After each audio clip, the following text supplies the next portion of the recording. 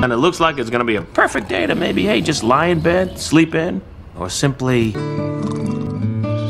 work out that slab that's hanging over the bed! Get up!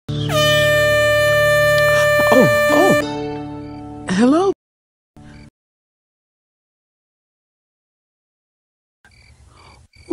Just a little nap. Even the moon needs to catch a few winks now and again.